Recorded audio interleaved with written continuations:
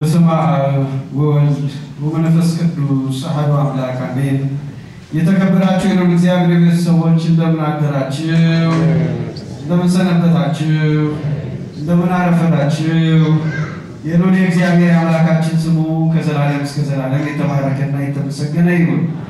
እንግዲህ ያው ዛሬ ጥሩ ሰፋ ያለ ጊዜ አግኝተናል። ጥሩ አድርገን እንግዲህ የእግዚአብሔርን ቃል እንማራለን። የመነሻ ትምህርታችን የሚሆነው ቅድም እንደሰማነው በወንጌሉ ላይ ሲነበብ እንዳደመጥነው በማቴዎስ ወንጌል በምዕራፍ 8 ከቁጥር 23 እስከ 34 ላይ ባለው ቃል ላይ ነው። ሁለት ነጥቦችን ነው በዚህ ታሪክ ላይ የምናየው በዋናነት የመጀመሪያው ኢየሱስ ክርስቶስ ባህርን ገስጾ ጸጥ ማሰኘቱ ነው። ሁለተኛው ደግሞ በአጋንንት አሽክላ ተይዘው የነበሩትን ነፃ ማውጣቱ ነው።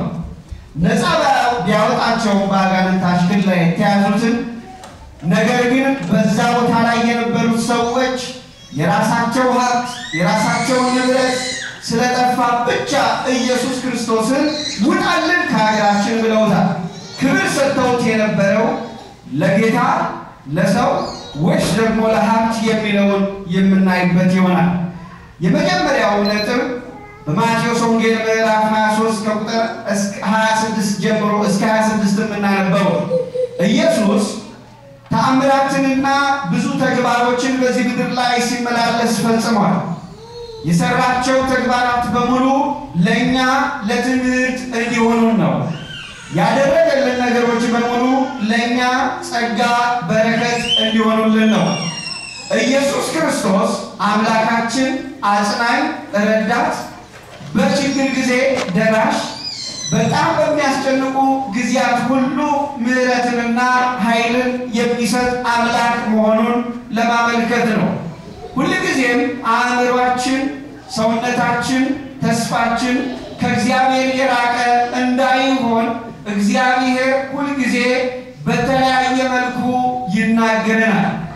ኢዮብ እንደተናገረው ጻድቁ ኢዮብ እግዚአብሔር በአንድም በሌላም ይናገራል ይላልና እግዚአብሔር በተለያየ አይነት መልኩ ይመክረናል፣ ይገስጸናል።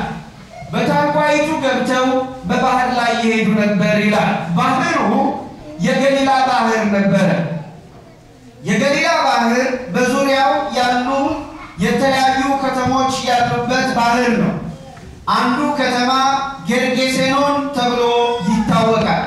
በገሊላ ባህር ላይ ኢየሱስ ክርስቶስ በሚሄዱበት ጊዜ አብረው ከደቀ መዛሙርቱ ጋር እንደ እንቅልፍ ሸለብ ባደረገውና በመርከብ ውስጥ በታንኳ ውስጥ ተኝቶ ነበር። ድንገት አሁን ልዩነታቸውን ማስቀመጥ ያስፈልጋል። ጀልባ፣ ታንኳና መርከብ እነዚህ ሶስቱ የራሳቸው የመጠን ልዩነት አላቸው። ጀልባ የምንለው ምን አይነት ነው? ትልቅ ነው ወይስ ትንሽ ነው? ትንሽ ነው። ጀልባ የምንለው ትንሽ ነው። ያለንበት ሀገር የውሃ ሀገር ነው። መቼም ሄደት እያለ ማለት ነው የውሃ ሀገር ነው። ሚኒሶታ ውስጥ ወደ ስንት ሺህ lake አለ የሚባለው? አስር ሺህ ሌክ አለ የሚባለው እንግዲህ በጣም ትልቁ የዓለም ትልቁ የ water deposit ያለው እዚህ ነው ነው የሚባለው። ምክንያቱም Lake Superior የሚባለው ይሄ ትልቁ ሀይቅ ያለው በዓለም ትልቁ ሀይቅ ወይም fresh lake ተብሎ የሚታወቀው ያለው እዚህ ሀገር ነው። እዚሁ ሚኒሶታ state ውስጥ ነው ያለው። እንግዲህ ጀልባ የምንለው አነስ ያለ፣ ታንኳ የምንለው ከመርከብ ያነሰ ግን ከጀልባ ከፍ ያለ ከፍ ያለ ብዙ ጊዜ ለመጓጓዣ ይጠቀሙበታል። ኢየሱስ ክርስቶስ የነበረው በዛች ታንኳ ውስጥ ነው። ደቀ መዛሙርቱ ሁሉ ተሰባስበው አንድ ላይ የነበሩት በዛች ታንኳ ውስጥ ነው። ታንኳ የተባለችውም ለዚህ ነው። በዛ ውስጥ እየሄዱ ሳለ ነው ኢየሱስ ክርስቶስ ተኝቶ ነበረ። ያን ጊዜ መርከቢቱ ፍጹም ተናወጠች። የባህሩን ማዕበል እጅግ ተነስቶ መታው። የባህር ማዕበል መርከቢቱን በመታት ጊዜ ከቀኝ ወደ ግራ ሲያናውጣት ብዙዎቹ ተጨነቁ። ምን እንደሚያደርጉ ምን እንደሚሰሩ በባህሩ ላይ ያለውን መናወጥ ለማስታገስ ብዙ ሞክረዋል፣ ግን ቻሉ አልቻሉ።